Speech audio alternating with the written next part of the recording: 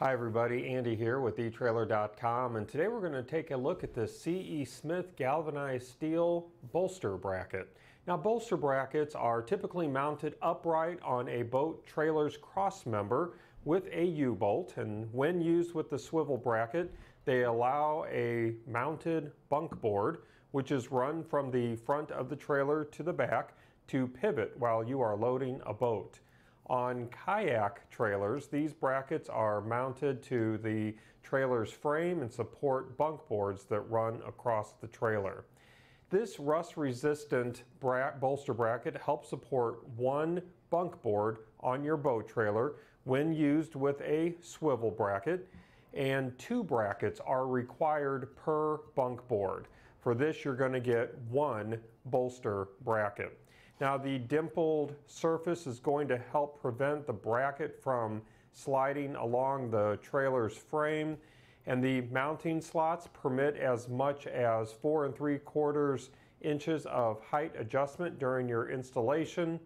And this is made in the USA of galvanized, uh, of 11 gauge galvanized steel that will resist rust and corrosion. Galvanized steel parts are hot dipped in zinc after being stamped so this is going to create a coating that is typically 3 millimeters to 5 millimeters thick. And this thick all around coating allows galvanized steel products to provide years of use without rusting or corroding. So this is suitable for saltwater exposure. Again, you're going to get one bracket. And let me uh, give you some overall dimensions. The overall length of this bracket, if I can hold it still, is sitting right at 12 inches tall. And then the width, we are sitting right at two and a half inches wide. And as I mentioned, these mounting slots are sitting right at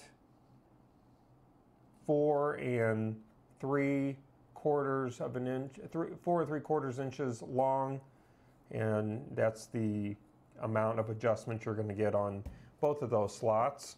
And they are sitting at right at half an inch, move my fingers there, right at half an inch wide. And then the spacing between these slots are sitting right at half an inch.